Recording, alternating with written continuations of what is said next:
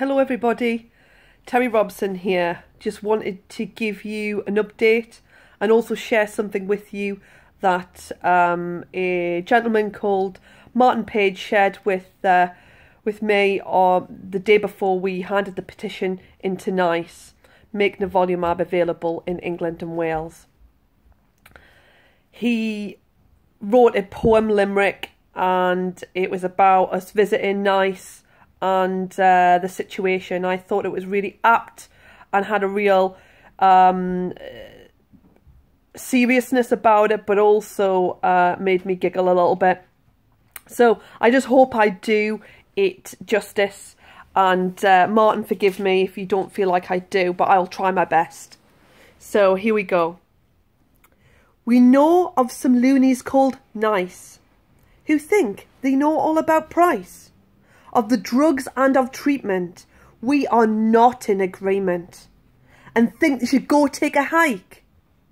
So Terri will visit their lair and make the daft sods aware that she ain't gonna move until they get in the groove and give Terri's mum proper care.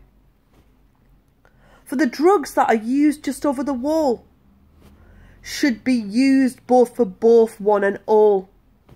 So come on now, nice. Thaw your hearts of ice. And make sure you make the right call. And if you will not listen to sense, then maybe you ought to go hence and find something new that maybe you can actually do instead of just counting the pence.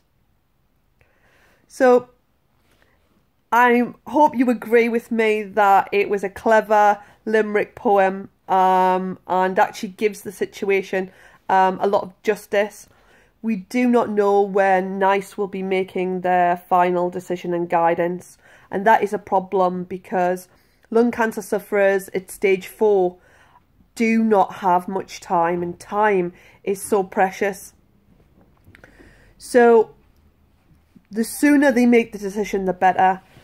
And when we're talking about how many people are diagnosed with lung cancer and how poorly funded and researched lung cancer is, for instance, 28,000 people die alone in the UK from lung cancer. 41,000 people are diagnosed in the UK alone. And it's the biggest cancer killer across the world.